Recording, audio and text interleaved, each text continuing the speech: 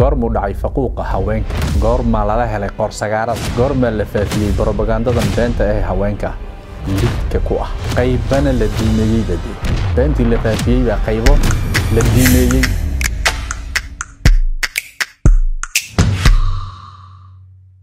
بسم الله الرحمن الرحيم الحمد لله وكفى وسلام على عباده الذين اصطفى وبعد hadda ka hor waxaan idinla wadaagay dood yaro ku saabsanayd ruuxa madow goormuu ku dhacay takoorka waa inagii ku faafinay meelaha laga arko wax. Doodaas waa inagii rifnay oo ilaa kor doontii nebi nuux ka soo dhiran dhirinay. Horjoogayaashii diimaha iyo qaabkay uga hor qaateen qaabkay uga qayb qaateen. Faquuqa lagu hayay ruuxa madow. Ila al'aan ama qaab la diimeeyey ama qaab la caqliyeeyeyba waa la faafiyey ilaa ruuxa madow uu noqdo ruux malcuunahoo halaagsan. Waa laysugu tegey baan idhi hadda caawana waxaan rabaa inaan in yar oo kooban oo hordhaca ka sii sii dayno oo ku saabsan goormuu dhacay faquuqa haweenka. Goormaa lala helay qoorsagaarada goormaa la faafiyey brobagandadan beenta ee haweenka lidka ku ah. Qaybana la diimeeyey bade beentii la faafiyey baa qaybo la diimeeyey oo laga dhigay wax ilaahay uu wato iyo rusushii karaamaysnaa.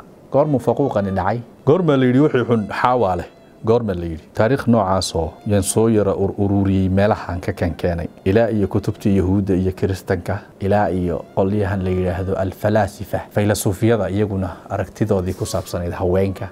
Waxoo dhan baynu doonaynaa markaas waxaynu ku horreysiin doonaa alyahuud. Sidee bay u arkaysay haweenka? Haweenka oo dhanba intaanan gaadhinba xaawo oo ah hooyadii hooyadii bini aadamka. See bay u arkayeen?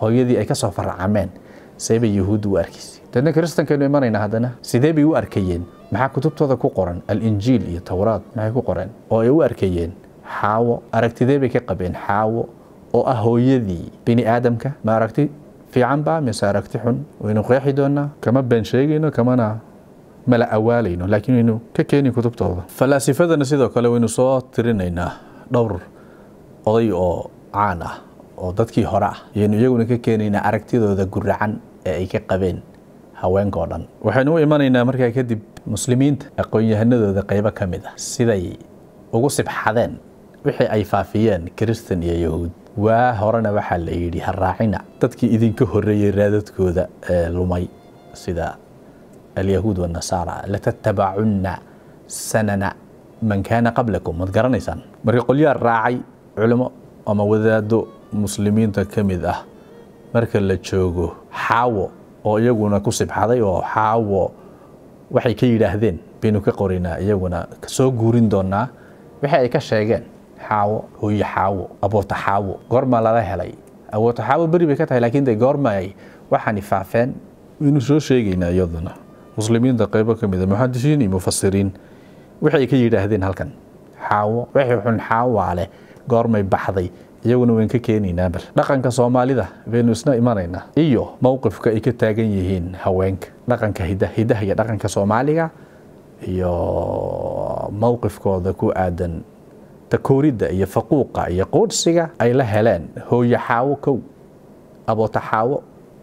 Wixii xun xaawaa leh way mahmaahdooda ugu jaban macnaha uguna inkaaran ay sheegeen. Iyo wixii dambe iyaguna markaa hal abuuro ah ama heeso iyo buraanbur ku jirana. Waynu keenaya dhaqanka soomaaliga ee ku aadan faquuqa takoorka iyo quudhsiga iyo yasida haweenka. Gebagabada waxaynu ku gebagabeynaynaa qur'aanka kariimka iyo sidii u caddeeyey. Qofkii u hoggaansamay waswaaskii ibliis iyo cunidii geedkii la yidhi ha cunina. Kolkii la joogay halkaa sare aadam iyo xaawana halkaa ay joogeen. Wixii xun xaawaa leh goormaa la bixiyey xaggee bayse salka ku haysaa waxaynu ku soo faahfaahin doonaa qaybaha soo socda biidnihi tacaala la socosho wacan wabilaahi atowfiiq